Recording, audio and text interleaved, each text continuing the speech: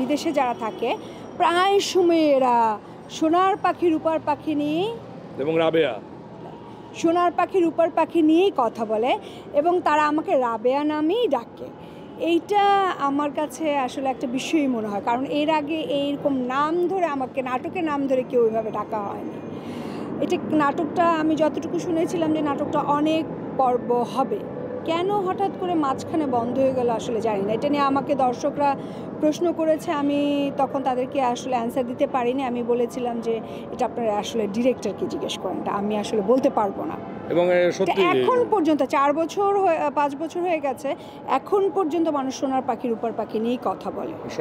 আমার কাছে ভীষণ ভালো একটা জনপ্রিয় নাটক এবং আমি দেশ বিদেশে অনেক জায়গায় যখন গিয়েছি তখন মানুষ আমাকে বলেছে যে রাবিয়া ভাবি কেমন আছে? তখন আমি বলছি রাবিয়া ভাবি কে? বলছে, আপনি সোনার পাখির উপর পাখি দেখেন না? আমি বলছি, ও আচ্ছা আচ্ছা সোনার পাখির উপর পাখি রাবিয়া ভাবি, সে ভালো আছে।